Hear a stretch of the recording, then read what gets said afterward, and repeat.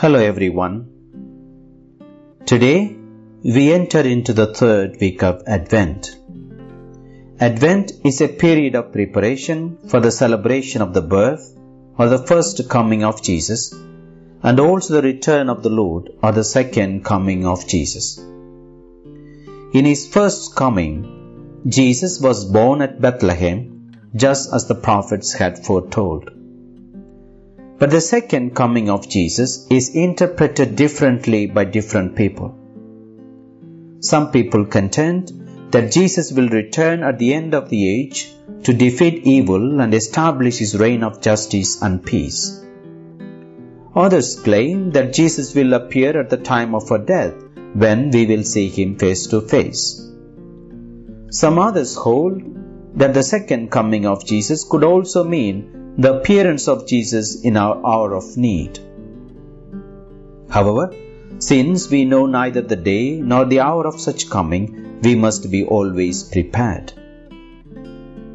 But how can we prepare for the coming of Jesus?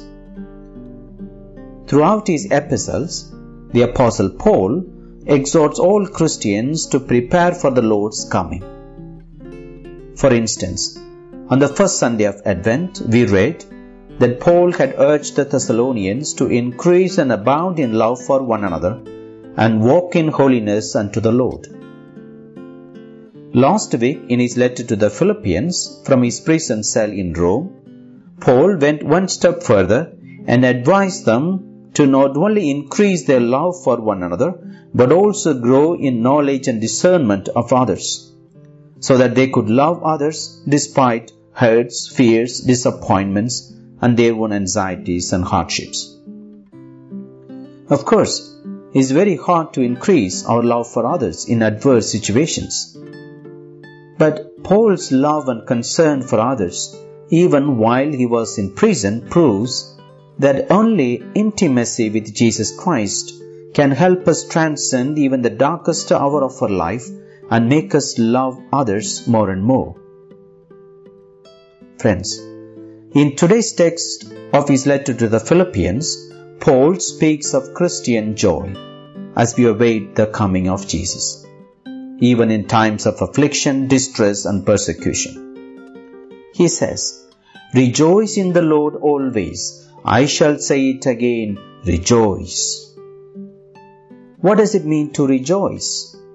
The term rejoice suggests not just happiness but also jubilation or joy. There is a difference between happiness and joy. For instance, if I ask, Are you happy? What would you say? Most often our answers would be like, I have a job, so I am happy. I am in good health, so I am happy. I won the lottery, so I am happy. It's my birthday, so I am happy. So, Often our happiness is produced and sustained by events, things, and experiences, often involving moods, people, places, circumstances, and material things. It can fluctuate greatly from day to day. Unlike happiness, joy will not change with circumstances. Joy is a permanent result of one's faith and peace in God. In other words, by practicing patience, love, compassion, and forgiveness, a person can transcend all pain and suffering and move into a state of profoundly deep joy and peace all the time. For instance, Paul was able to be jubilant even in unusual circumstances. While in prison, he felt lonely and abandoned, yet he was joyful. It was Paul's faith in God that saw him through his trials and made him feel hopeful, peaceful, and joyful. Friends, Paul's example is a great encouragement to all Christians, that is to say, it is possible to be joyful anytime if we abide in Jesus Christ. Paul then said, Your kindness should be known to all. What does Paul want to say here?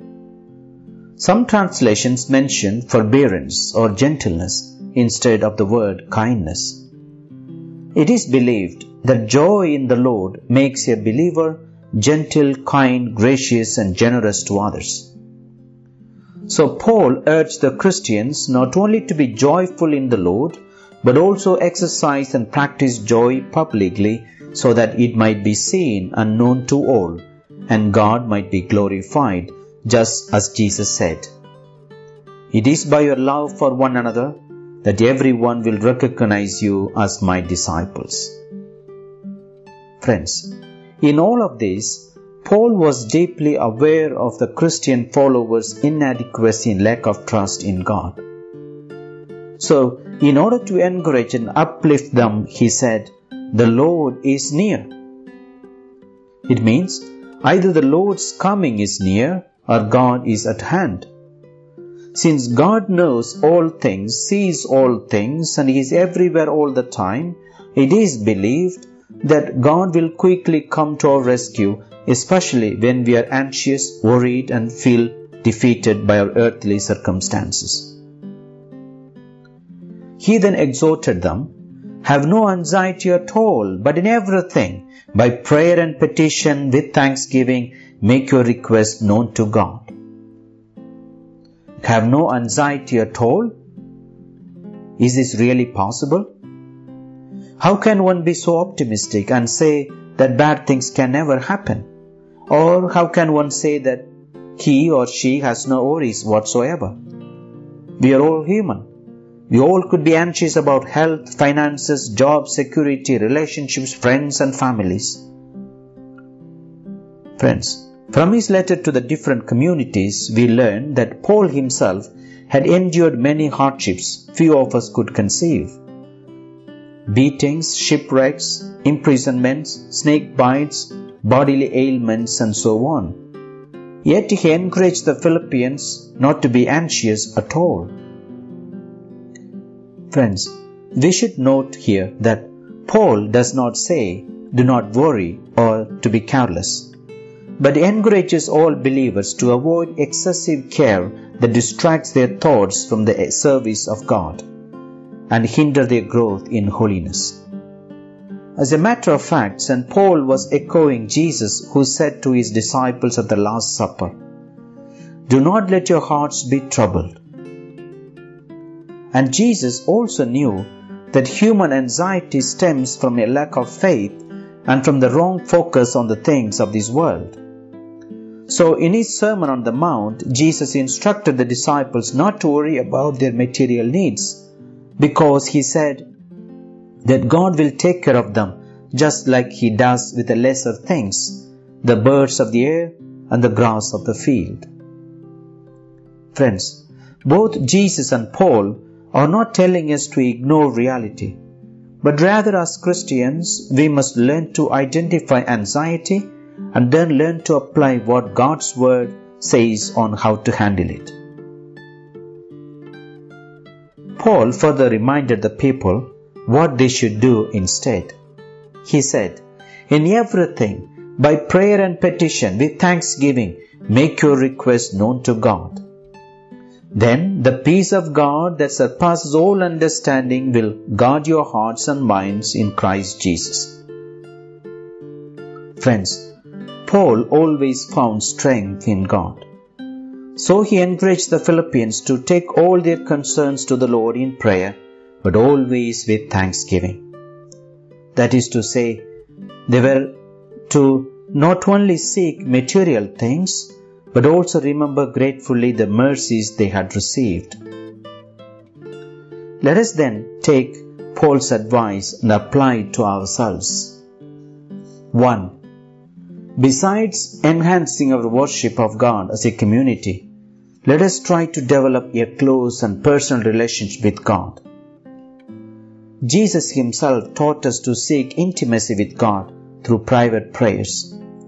Because believers who have found true intimacy with God are able to overcome and beat the odds against them and be joyful even in the most adverse circumstances. 2. Let us truly believe that the Lord is near us. 3. When we are being crushed and worn out by stress, loneliness, rejection, illness, pain, suffering, and hardships, let us not be anxious, but instead call out to God again and again.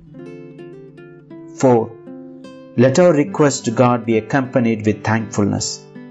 Let us tell Him what we need, but always remember to thank Him for all He has done. 5. There is no change in the promises of God.